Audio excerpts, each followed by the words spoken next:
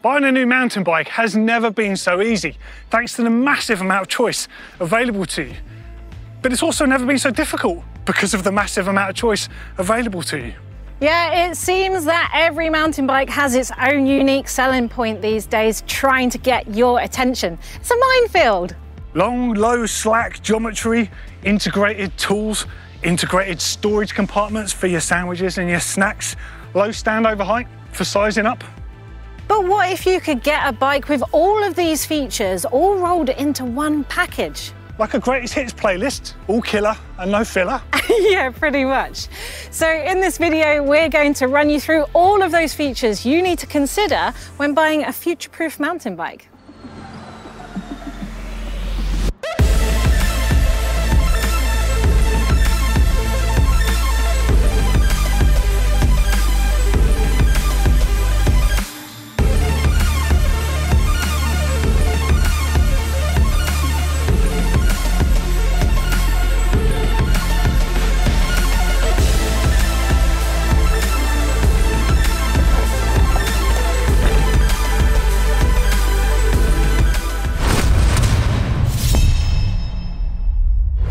Make this video, Merida sent us a couple of their big hitting enduro and all mountain bikes, the 160.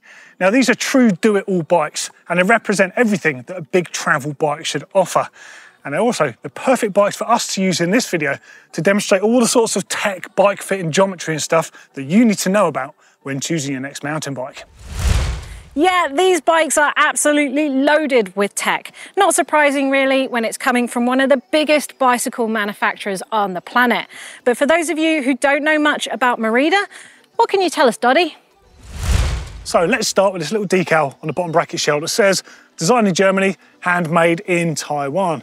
Now these little handmade in Taiwan decals you see on bicycle frames, of course a bit of a stir over the years, but the fact is, the biggest bicycle brands out there proudly have their bikes manufactured in Taiwan because of the excellence that comes from this tiny little manufacturing island. And you could also argue that Taiwan's actually the birthplace of mountain biking. Um, I say that because the first mass-produced mountain bikes, they came from Taiwan in 1980. And you could say Merida are largely to thank for this. Now, Merida was founded in 1972 to change the international perception of what bicycle manufacturing in Taiwan is all about, and they have certainly achieved that.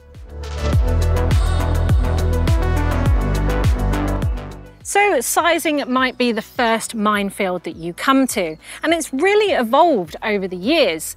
Only a decade ago, we were measuring bikes in inches. Doddy would be on something like a 21, I would be on something like a 14. And this referred to the length of your seat tube. These days, trail and enduro bikes have more of an emphasis on descending rather than pedaling.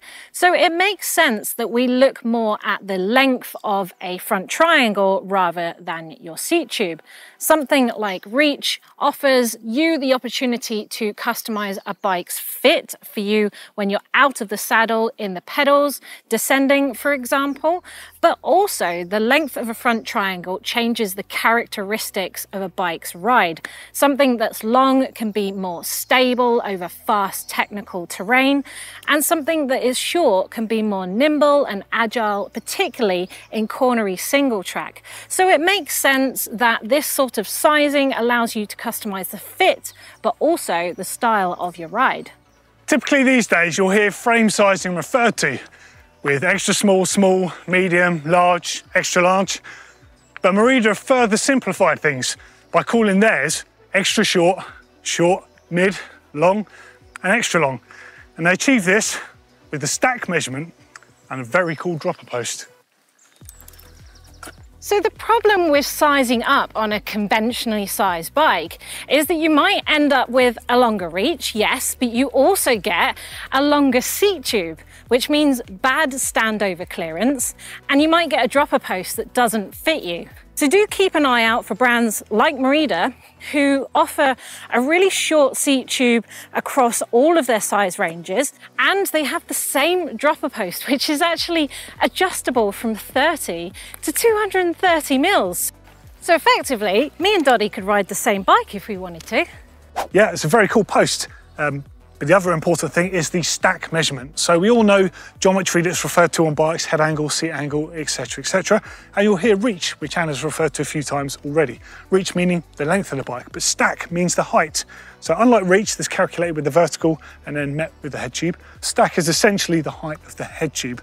And usually on smaller frames, you have a lower or a smaller stack number, and on larger frames, you have a larger one. Uh, yes, that fits small riders and tall riders accordingly, but it doesn't enable you to move around within the sizing.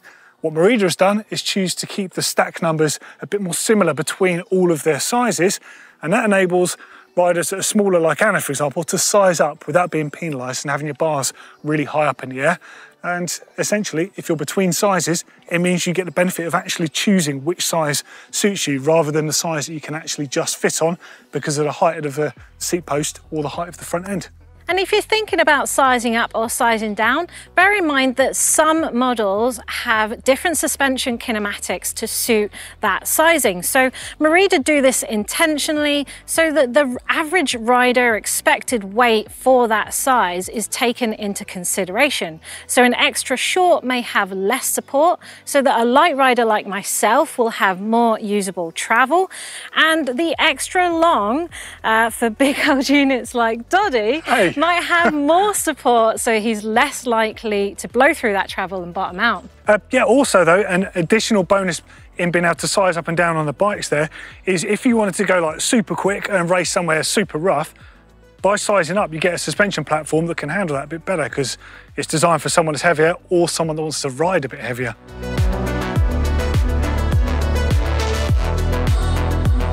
Okay, so let's talk about suspension. Now, as you might imagine, the 160 features 162 millimeters of travel out the back, paired with a big old 170mm fork.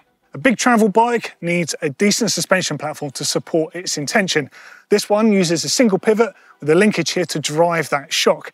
Now you might notice it doesn't actually have a pivot out the back here. Merida's chosen to have a flex stay approach here because it moves a minimal amount so what they say is that they can remove the pivot, remove the hardware, remove the weight that goes with that. It actually moves less than a similar setup on their cross-country bike. So it just proves the point, you don't need that stuff down there. Anyhow, this particular bike is compatible with coil and air shocks. Now this is something to take into account, especially with these bigger travel bikes, because many riders are choosing to fit coil shocks because of the way they ride. But the fact is, a coil shock by nature is quite linear, an air shock is quite progressive. If the back end of your bike is linear, then it's going to work really well with an air shock, but not so well with a coil shock because of the fact you're going to be sat really low in the travel and use that travel too easily.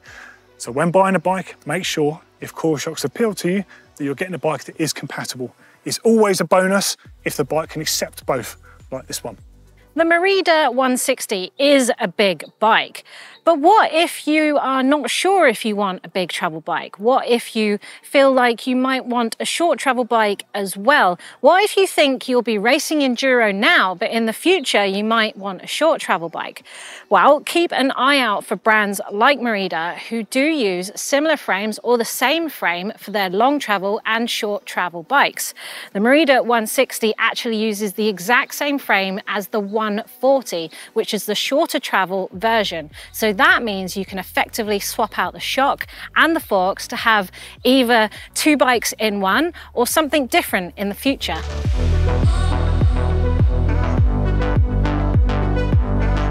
Wheel size is something you need to consider with your next bike as well.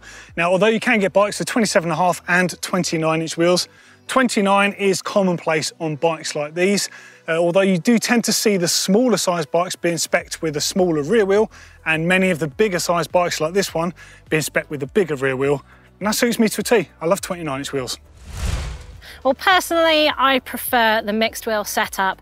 Uh, the smaller wheel gives me more clearance, not just because of my height, but because I ride steeper, more aggressive terrain. However, if you think that this could potentially be a fad, or you can't choose between a mixed wheel or a full 29er setup, then future-proofing means you need to look out for frames that can change the rear wheel. Now, some bikes require some minor adjustments, maybe swapping out linkage at best, Uh, but do keep an eye out for bikes like this, where you can actually just use a flip switch uh, and you won't need to do any heavy duty maintenance and you can just swap out that back wheel. So you effectively have two bikes in one as well added bonus is that when you use the flip switch and put it into a mullet setting, I get 170 mils of travel instead of 162. So again, contributing to two bikes in one.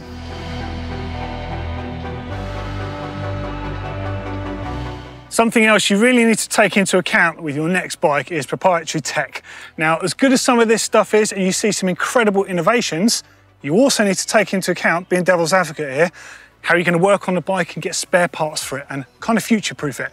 Bikes like this are using things that are easy to get in bike shops around the world. You haven't got trunnion mounts, you've got standard shock mountings on here. You've got standard BSA threaded bottom bracket, ISCG chain guide mounts there, or for fitting a bash plate on there or whatever you fancy. SRAM UDH, the universal derailleur hanger on the back, and you've even got little mounts here on the seat tube for fitting Eightpins integrated dropper post, if that takes your fancy. The point is, Bikes should be easy to work on and easy to get spares for, so do take that into account, especially if you like to travel with your bike. Other things that have been cropping up on the features list in more recent years are things like storage and integrated tools. So I've got an integrated multi-tool in the back here. I've got a tube wrap, water bottle, obviously, and also a storage or a service hatch down in the back for things like pumps. Now, personally, I really favor this because I race a lot and I think it's much safer to have your tools on your bike than on your person. It's also nice and light and airy and I feel better in the summer.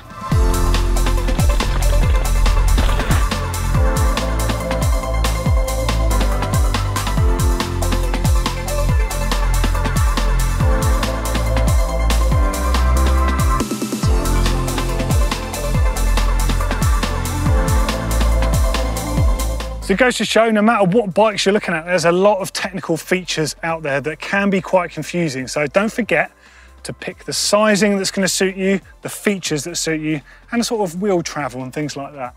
Yeah, and hopefully we've gone a long way to help you identify some of the features that may be really important to you, as it will be different from person to person. But you know what? Let us know down in the comments below if there's a feature out there that you think is future-proof and that you always look for when you're buying a bike. Let us know and help out that GMBN community in the future.